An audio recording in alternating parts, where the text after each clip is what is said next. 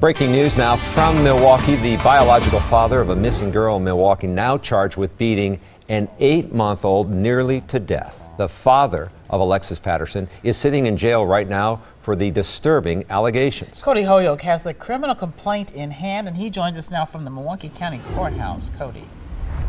Charles Carroll, good afternoon. Kenya Campbell garnered a lot of attention over the last 11 years, the ongoing search for his daughter, Alexis Patterson. Now he is in jail. Jailers are keeping an eye on him after prosecutors maintain he beat a young girl within an inch of her life. Campbell lives with his mother and an eight and a half month old girl, presumably his daughter. He is legally responsible for her care, according to the complaint. Campbell's mom, the girl's grandmother, told police Kenya ran in one morning and said the baby fell and split her lip.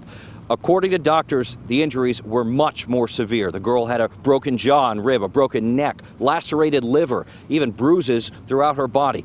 Doctors were amazed the girl survived and believe the injuries are from what they believe is a violent, massive assault. Now, no word today on the baby's condition. It should be noted that Kenya Campbell, according to prosecutors, went to work after telling his mother that the baby had fallen.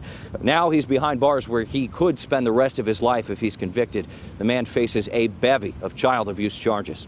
Live in downtown Milwaukee, Cody Holyoke, today's TMJ4. Well, certainly a horrendous situation. Now, let me ask you, though, Cody, a question that maybe a lot of viewers are thinking right now. Given the allegations against Campbell, what do we know about the case with Alexis and where he was? I'm told at that point, when she disappeared, he was not a suspect.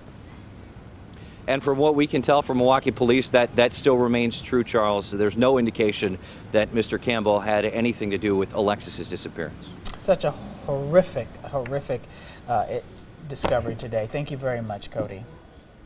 More breaking news now.